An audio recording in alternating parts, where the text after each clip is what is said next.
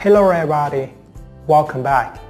Spoilers say that Liam will put more pressure to Hope, but he doesn't know that it will affect their marriage. Hope is coming closer to a father Deacon and even let him to know his grandchildren. Liam is very furious with that and he will take actions to stop his wife from being with Deacon. Tensions will rise between Hope and Liam, and Steffy will also join with her ex-husband Liam to save Hope from Deacon.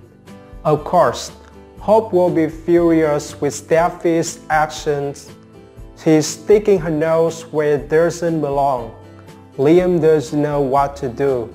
He loves his wife, but he can't let her getting too close to Deacon. Spoilers say that Liam will give Hope an ultimatum. If she doesn't leave her father, he will divorce her. Liam thinks that Deacon is uh, too dangerous to his children, so he will take Beth away from Hope. Hope will be shocked, but she's still determined with her decision. She won't back down.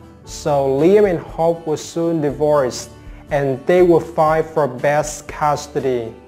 Ridge and Steffy will help Liam, but Brooke will also try her best to help her daughter. Seems like some hot drama will happen, so stay tuned. I'll update and come back with the latest spoilers.